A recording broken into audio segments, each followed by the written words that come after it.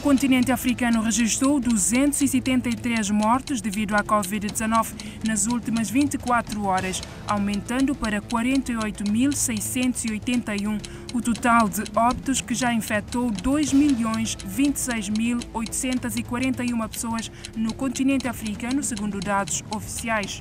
Cerca de 2,3 milhões de crianças precisam de ajuda humanitária em Tigray e outros milhares estão em situação precária em campos de refugiados no Sudão devido ao conflito naquela região, segundo o alerta da Unicef. A agência da ONU estimou que cerca de 12 mil crianças estão em risco.